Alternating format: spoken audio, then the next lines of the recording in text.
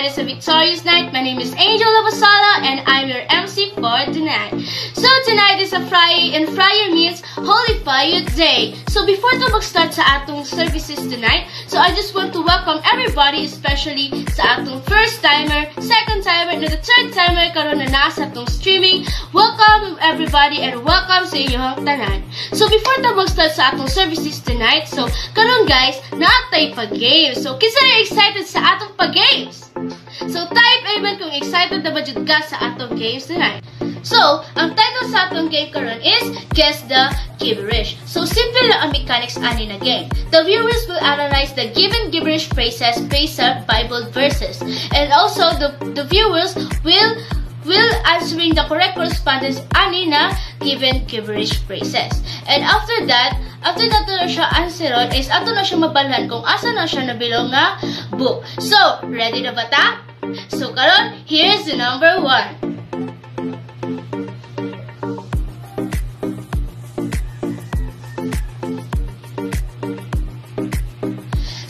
Time is up. So, ang answer sa number one is, I am the way and the truth and the life. And makita na to siya sa book of John, port, chapter 14, verse 6. So, ay mo kabala ka kay napay ika, duha. So, here's the number two.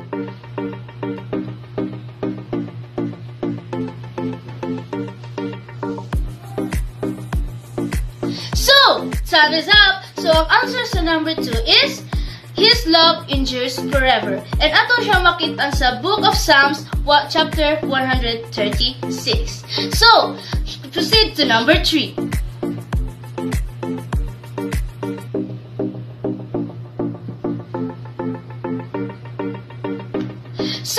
Time is up. So, ang correct answer sa number 2 is, As for me and my house, we will serve the Lord. So, ato siya makitaan sa Book of Joshua, chapter 24, verse 15. So, proceed ka sa number 4.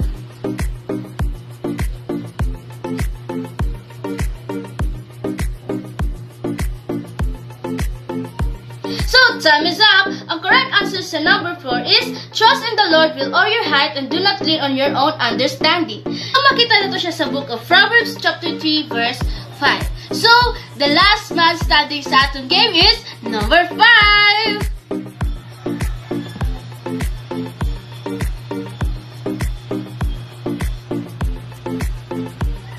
So, time is up! So, ang tamang answer sa number 5 is, Be still and know that I am God. So, makita na to na siya sa Book of Psalms, chapter 46, verse 10. So, I hope na nalingaw to sa atong games karon and enjoy the rest of the night. See you, see you next week.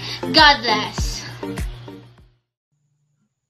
Good evening, Holy Fire. Today is a victorious night, and right now, mag-praise and worship ta karon. So, let's prepare our hearts, our mind, and I encourage everyone na mangita mag place na mga comfortable mag-worship kay Lord. Amen? Amen.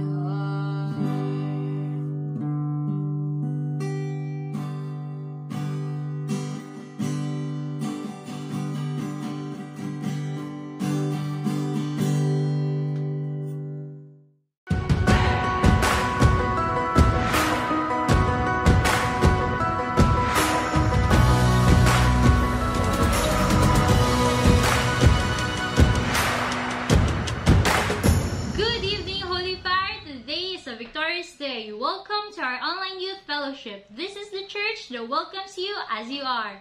Let us all acknowledge the holy presence of our dear Holy Spirit. Welcome, Holy Spirit. And we would like to welcome our senior pastor, Pastor Rico, Pastor Jotam, our youth pastor, Pastor Glenn. Welcome po, and welcome to our elders, our Ignite, and of course, our Holy Fire youth. Welcome everyone. Welcome. So last month na humana na jud ang ato ang kuano, ato ang last series na Living with Purpose. And this month na na pud new series and this month's series is entitled God News About Grace. Amen. So amazing jud kayo ato ang new series this month no and it is a must to watch jud so magtanaw jud tayo every Friday no. Amen. Amen.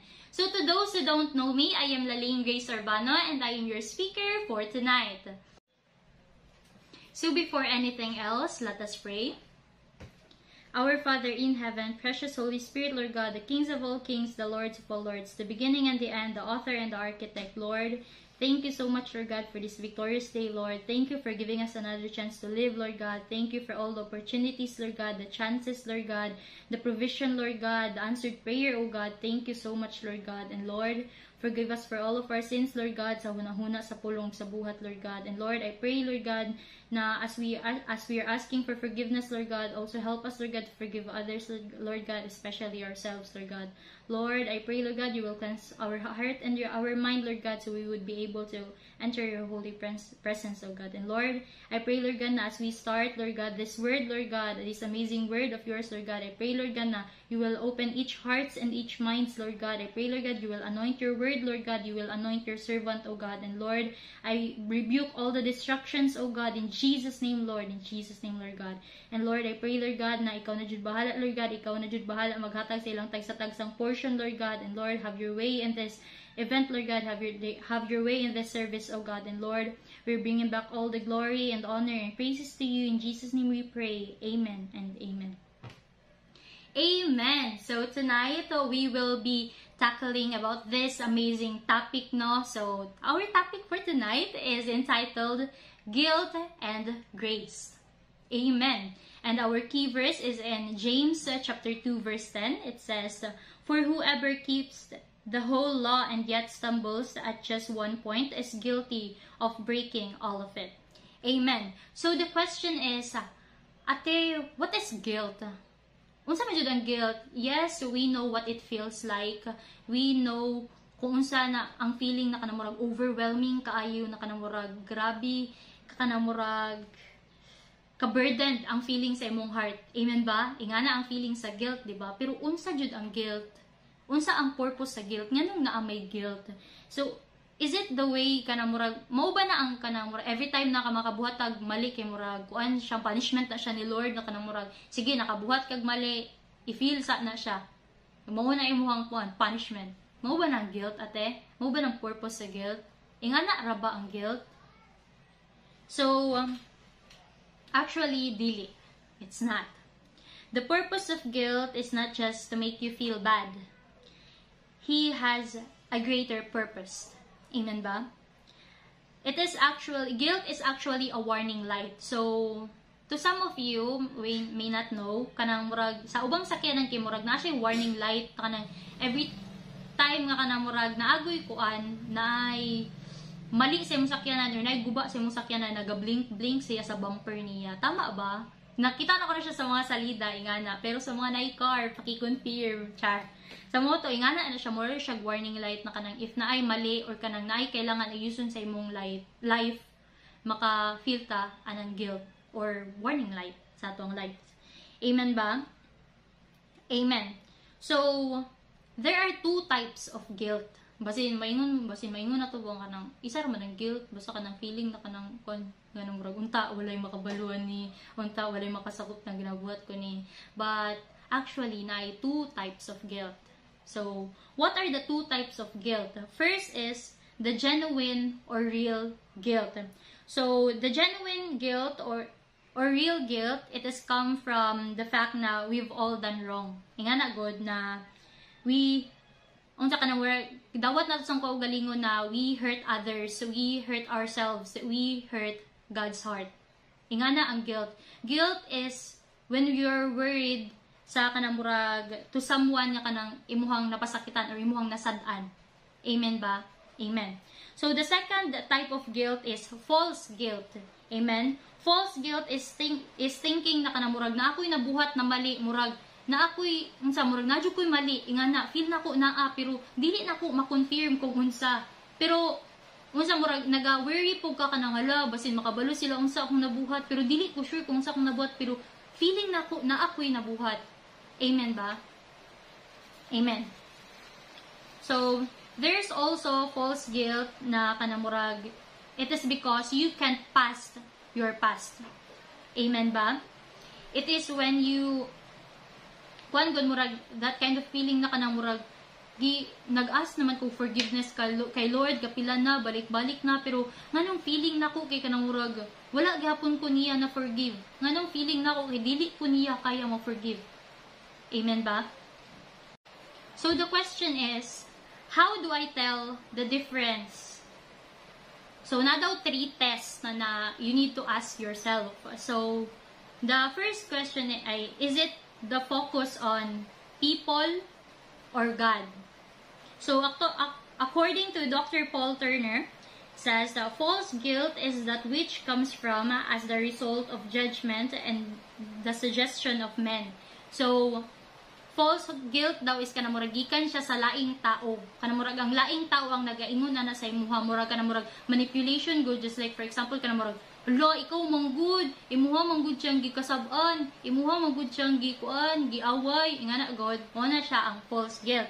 So, while if unsa daw kanang genuine guilt daw siya, it comes from unsa divine judgment kanang kung unsa ang pananaw ni Lord ana nga situation. Like si Lord ang nagaingon ana sa imuha. Kay if you are struggling with false guilt daw kanang murag you can see yourself kanang murag finding other people's kuan kanang opinion or approval kanang murag kay ginaprove nimo imuhang self sa laing taong kanang murag wala ko ni gibuhat dili ko ni sala Ingana God. Amen ba? Amen. So, the second unsa, question that you will ask yourself is, is the focus on vague or specific? Vague is kuan kan like something unclear, dili sure. Ingana. So, so if we are being asked uh, what's the struggle we're facing, we can really say it. So, if vague daw imong na feeler ka ng false hope, kanang murag dili daw nimo ma-pinpoint kung unsa imuhang sala kung unsa imong nabuhat kanang murag imuha lang feel lang nako kanang nakoy sala feel nako nakoy nabuhat pero dili ko sure kung unsa dili ko sure kung asa amen ba amen so if mo do na imong na feel Satan is Satan is the one who is talking to you. Dili si Lord. While if si Lord kay si Lord man gud if unsa ka murag na siya gusto ipabag-o sa imuha or ina siya gusto i-correct sa imuha he will tell us specifically ipinpoint jud niya kung unsa ang imuhang sala or unsa imong nabuhat. Dili kaniya i-confused amen ba? Amen. So the last question that you will ask yourself to tell the difference is is the focus on rules or relationship. If we're if you are if we are struggling with false guilt daw we will we unsa we tend to feel na kanang hala, I broke the rules, hala, ningon biya si kuan nga, dili daw dapat ni, hala, ningon biya si kuan nga, bawal daw ni, hala, nganong gibuhat ko man ni, hala, na-break na ko ang rules ni kuan, nila, nung sa, kuan, nga na. So, while, while when we're struggling with genuine guilt, we're worrying about na kanang, hala, nas, napasakitan ako si kuan, hala, napasakitan ako akong mama, hala, napasakitan ako si kuan, akong friend, hala, napasakitan ako si Lord. E nga na. Amen ba? You can tell the difference, di ba? Amen. So, the difference between two is the rules become more important than relationship. If kuan, if false relation, eh, false guilt siya. So, it becomes religion rather than relationship. Inga na siya. So, in church, it looks like it becomes duty rather than desire. Amen ba? Amen. So, whatever whatever kind of guilt man kung ang ato ang na-feel, it's either false guilt or genuine guilt, natay different kinds of one more dealing with it. Pero if natay kay if natay way kita nga tao kung saan siya pag-deal, napoy way si Lord kung saan siya pag-deal. Amen ba? Amen. So, our ways of handling guilt is just like in Genesis uh, chapter 3 verse 7 to 12 pero naka na siya, naka-shorten. It is it says that they sewed fig leaves together and made something to cover themselves. Themselves, they hid from the Lord God. I was afraid because I was naked, she gave me fruit from the tree, so I ate it. Amen. So the first thing we ay, the first thing we tend to do though when we are handling guilt is that we often respond with shame. Amen ba? Amen. We feel bad about it. We feel like kanang murag hala dili na ko deserving kanang murag ala ina ani uy kanang murag ah anjo uy wala na ulaw na kaayo di na ko mobalik tago na ko kay Lord kay grabe jud ka ulaw sa akong gibuhat ingana ba di ba nagapalayo ta kay Lord nagatago ta kanang murag as if wala ta niya nakita amen amen So, di ba, da, unsa, naka-highlight diya, oh, they sewed fig leaves and tried to hide out. Amen? Amen. So, the second thing we do when we're handling guilt is hiding. Amen. They hid in the bushes from God as if God couldn't see them. Amen? That's like, uh, unsa ka na murag ginatabunan, guni yung muhang face, o sa imong kamot na ka na, Lord, ayaw kong tanawa, dili ko worthy tanawon, kay grabe na ko ka makasasala, grabe na ko kahugaw. Amen ba? Murag po ka nang, murag balik ta dito sa dashboard, katong warning, warning light sa dashboard, di ba? If naga, unsa, naga-blink ang light, it means na ka na nakay nabuhat, nakay, unsa, nakay, naay mali, naay kailangan i-yuson. And unsa sa atoa daw tao kanang murag unsa mostly daw sa ato ang respond ana is kay murag murag ginatabunan nato ang flashlight na kana as if wala na to siya nakita oh wala ko kita ato wala wala mali ah wala ko kita ato murag ingana siya. Di ba? Like what's the sense? Amen? Amen. So the last thing we do daw if we're unsa handling guilt is blame. We blame others. Of course So, di ba katong time nga nagatubang na si Adam, si Eve, o katong serpent sa tubangan ni Lord kay Juan, kanang nangutana daw si Lord una kay Adam na kanang, did you eat that fruit from the tree? Then, nitubag po daw si Adam niya kuan at nang wala uy dili ako ato. Si kuan si Eve naghatag sa kuha ato. Ana siya kaunon daw nako and then nitubag po si Eve. Then ni unsa kanang tudlo po ni Eve ang serpent. Siya uy dili ako. Siya ang nagingon. Niya kaunon ako to. Amen ba? So, nagpasahanay sila. So, murag, sa tuwa, murag, it's easier for us to blame others than to accept na natay mali. Amen ba? In 1 John chapter 1 verse 9, it says na, If we confess our sins, He is faithful and just and will forgive us our sins and purify us from all unrighteousness. Amen? So, ang three ways na kuan nato sa paghandle sa guilt is we often respond with shame, hiding, and blame. But this time, this is God's way of handling guilt by His grace. Amen ba?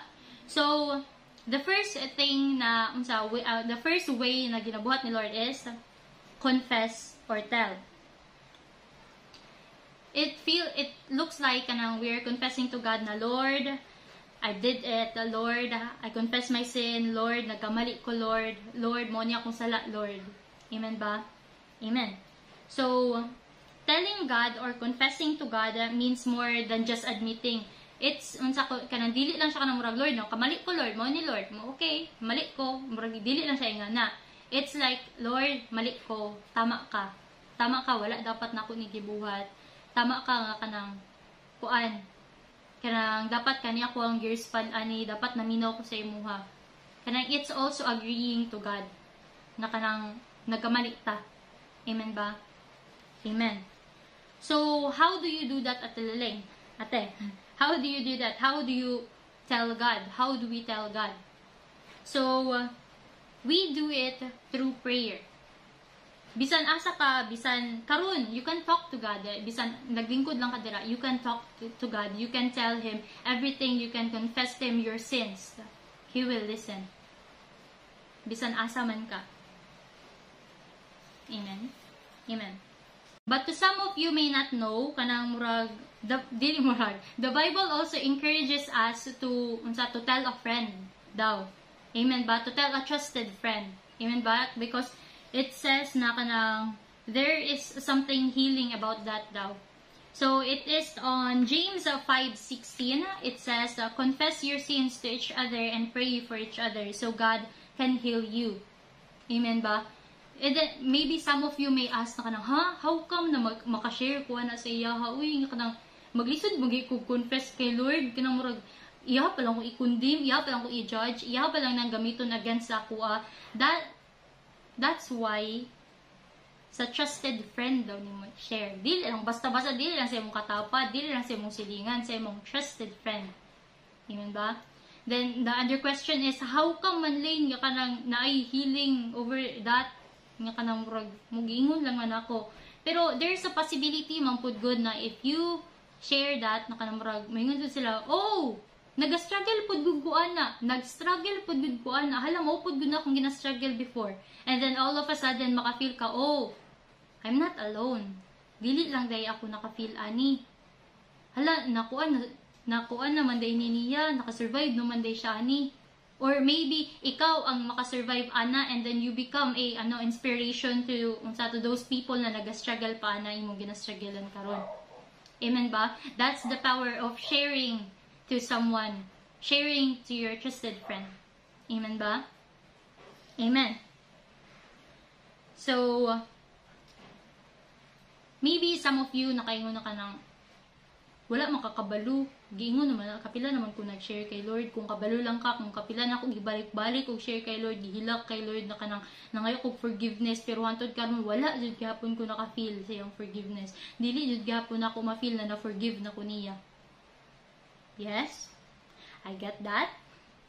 That's why in the second part of 1 John 1:9 reminds us to experience God's grace we not only have to confess our sins, but we need to trust God's character. Amen. Maybe, daghan sa atuan na nag-confess na ta kay Lord kapila na, pero we don't really know the God na kuan na nag-forgive sa tua. Wala na to siya giila-ila, wala ta ni duol sa iya jud. Like giingon lang nato, din hawa na ta. May nga na, that's why we can feel His forgiveness. Amen ba? Amen. So, eh, tanawan ninyo sa Hebrews 10.22, it says, Let us come near to God with a sincere heart and a sure faith because we have been made free from a guilty conscience. Amen. Jesus uh, makes us free from a guilty conscience. That's why nagpakamatay siya sa cross. That's why gisacrifice niya iyang kaugalingon sa cross. Amen? Amen. So, unsa daw ka na murag, when we ay kana when we ask for forgiveness manggod mura ka o kana murag nagatuon pod og bike. Amen ba? Siguro kamo katong naka-remember pa mo atong murag first bike ninyo di ba murag naamay nagaguide sa inyo ha, nagagunit sa inyong likod sa bike ingana and then ingon kanya sige pedal lang pedal lang gunitan ako imong likod ingana ingana pero murag maglisod kag salig sa iya kay kanang what if wala di kaniya gigunitan? Dili ba nimo siya makita di ba? Amen ba? Amen. So Night time siguro na kanang murag unsa murag nagbike na ka and then murag suddenly ma-remember nimo nga hala basi unsa wala niya gigunitan hala kuan basin kuan na din maratol ka and then mag unsa na ana-ana na ang kanang manovela di ba? E nga na and then hala matumbo ko matumbo ko basin wala ko niya gigunitan. And then you fall. Kay naratol man ka kay wala man ka ni tuo nga gigunitan niya imong likod. Wala man ka nagtuo na nagaguide sa imuha amen ba? But the thing is it's okay to fall. Because whenever we fall, ginatabangan ta ni Lord na mubangon. O ginahatagan ta niya og new strength. Ginahatagan ta niya new chance. Amen ba? Amen. The last way of God handling guilt is accept God's forgiveness. Amen. Sa last part sa verse, di ba, it says na, and cleanse us from all unrighteousness. Amen. He will purify us from all unrighteousness. All. Not most of our unrighteousness, Not some part of our unrighteousness, but all of our unrighteousness. Amen ba? Amen. It is also says in John 3 8, people who believe in God's Son are not judged guilty. Amen. So today, you can clear the issue. Pwede na nimo isata lang issue. Pwede na nimo buy anak nga guilt. Because today, God is telling you, I will judge you not guilty. Siya na mismo nag-ingon anak. So accept it na. Dawata na. Amen? Amen. So, ate, if you accept God's forgiveness ba, does it mean nga kanang dili na ko magkamali? Does it mean nga dili na ko ma-fall, ma-fail again? No. Pero it means na if you do, if you fail again, if you feel guilty again, you what you are going to do is you confess your sin again. You recognize that his willingness to forgive. You take consequence and recognize that his grace can even help you with the consequences. Amen ba? Ingana ka great ang grace ni Lord if you are just willing to accept it. Amen? Amen. So, siguro makapangutana pud kang kanang ha unsa man ka sure wala ka kabalo kung unsa kadako akong sala. Wala ka kabalo kung unsa ko kahugaw. Wala ka kabalo kung unsa nako napasakitan akong anak ako ang mama akong papa akong friends. Wala ka kabalo. How can you tell na kanang ma-forgive ko ni Lord sa ako ang nagbuhat nga grabe kadako nga grabe kapila na nako gi unsa gi pangayo o kuan kanang murag forgiveness ni Lord na forgive ko niya pero sige ko balik-balik. Wala ka kabalo wala ka kabalo. So how sure are you na ma-forgive pa ko ni Lord? Yes? I get you. But when you start to read this book God's book then yes ma-forgive pa ka na Lord He cannot just forgive you, but He can also use you. Amen. You, when you read the story about the guy named Abraham in the Old Testament, he started out as a guy who is worshiping idols. He had a lot of struggles with lying. Yet, we call him the father of our faith. You read the story about the guy named Moses who started to start his life was a murderer. He was a murderer. Yet today, we call him the one who set the children free to go to the promised land. When you read the, the story of a guy named John Mark who was a coward, he left a missionary trip because for some reason he was afraid. You and I call him the writer of the book of the Bible called the Book of Mark. Amen. You read the story of the guy named Paul. He started out by being named Saul. He went to churches and persecuted people. He actually stood by while Christians were murdered. Yet you call him an apostle and a writer of the New Testament. Amen. Those the people have sinned. Those that people are imperfect, just like you and me. Yet, God still forgave them. God still used them. God still qualified them. Amen? Amen. God really wants you to be freed from that guilt. I know na some of you kay kanamurag pila na ka years nagakling anak nga guilt. Maybe some of us kay kanang since tong bata pa ta, maybe some of us kay kanamurag nahimo na nang murag teddy bear sa tuwa. Na kanang dili na to kaya nga kanang wala na na siya sa tong kilid. Murag na normalize na nato siya. But this time maybe it's time to let that go Give it to God.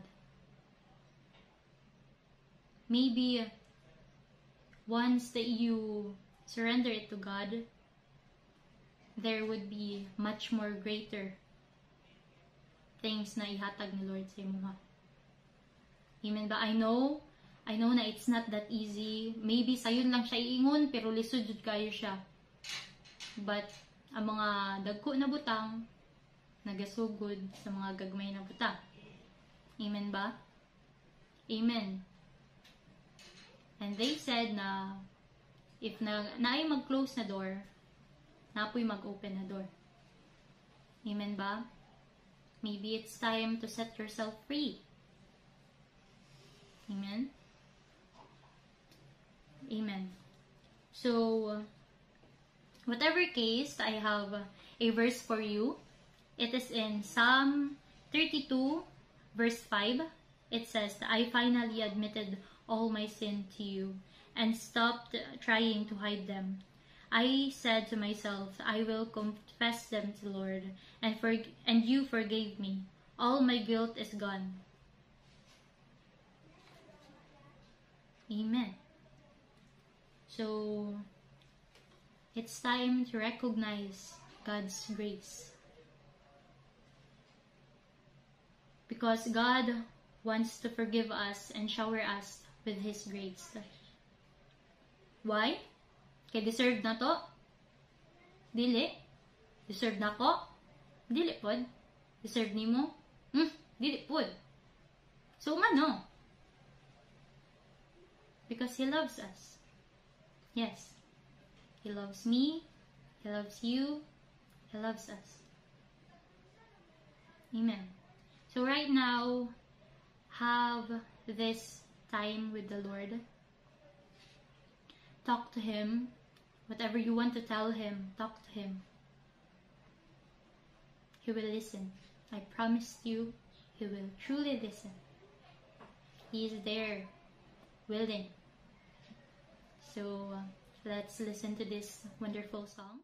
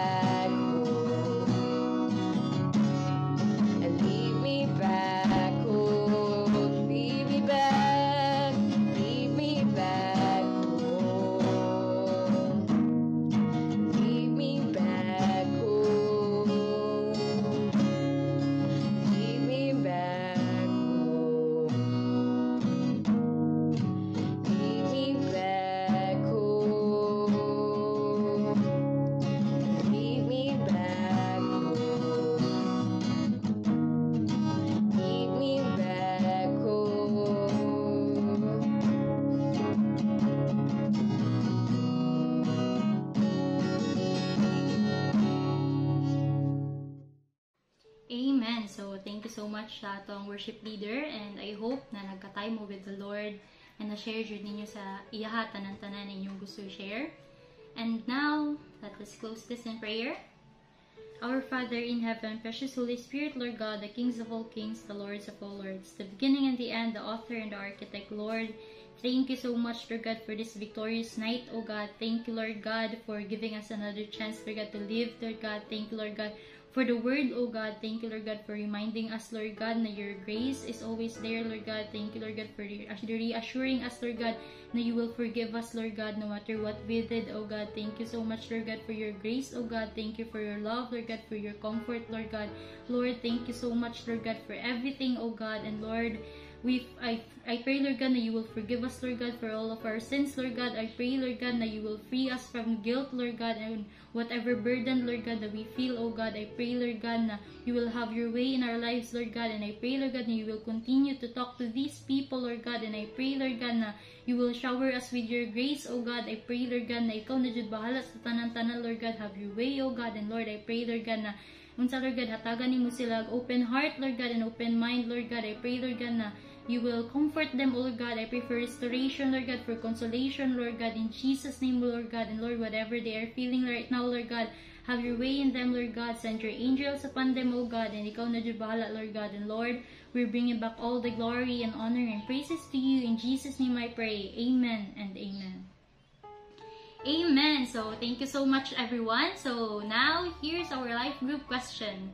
I hope na kanang makashare jud ta sa ato ang life group leader and feel free to ano to share to everyone. Have your have, have a great night everyone. Thank you so much for watching. Thank you so much for tuning in. I hope na magkita-kita pa this Sunday and next Friday. Thank you so much everyone. Have a great night. God bless us all. Shalom. We are encouraging everyone to join our life group discussion. Please contact Vince Goitia for you to be assigned to a designated life group leader. We would like to invite you this Sunday on our online Sunday celebration every 9 a.m. Thank you so much for tuning in to our Holy Fire Youth Service. See you again next week. God bless.